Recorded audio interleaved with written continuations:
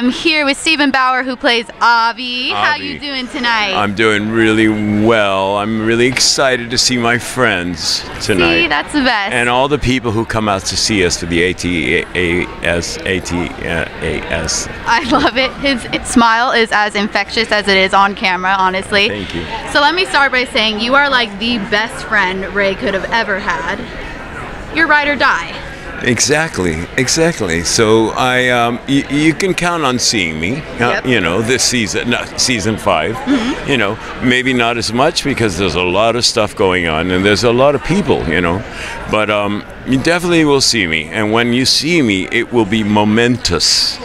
I That's a believe good it. word, You're always one call away, and you always save the day. Oh, You're yeah. very dependable. Oh yes, I, I'll save the day if I need to. But you know, sometimes he's a little bit.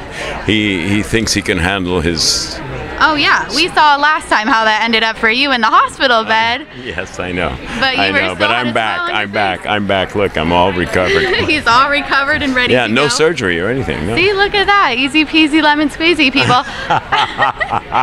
so, what will we see new from your character this upcoming Uh, season? what you're going to see is a, a little bit of a departure, and that's all I can tell you because they don't want me to give away this the story. You won't see me for a few episodes. You- You'll think hmm. Avi's dead or something, but no, I'm there. I'll I'll be back. You just have to bide your time, and eventually Avi will come in in a big way.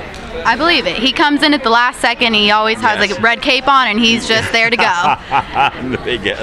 exactly. He's always dependable. Yes. And so, what do you think will be different about Ray this season now that his wife has overcome that huge battle and he's got his whole family surrounding well, him? Well, he's he's very hopeful. I think that the this season will bring a lot of change. I can't tell you where, but but it's going to be everything you just said will change. Wow. That's all I can tell you.